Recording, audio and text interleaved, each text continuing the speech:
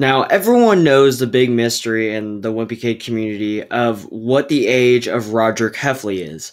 Now, we obviously know that Manny Heffley is three, and based off of Greg being in his first year of high school, he's around 12, but we never really knew what age Rodrick Heffley was.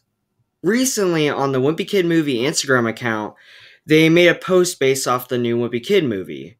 And in it, it says presents when you're three, and it's showing Manny, obviously and presents when you're 12 and it shows Greg. And for the last one, they show Rodrick saying presents when you're 16.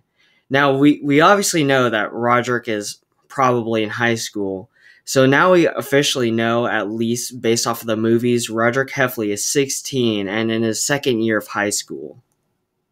Anyway, with all that out of the way, the new Wimpy Kid movie, Cabin Fever, comes out this Friday on December 8th. I hope you all watch it. Anyway, thanks for watching.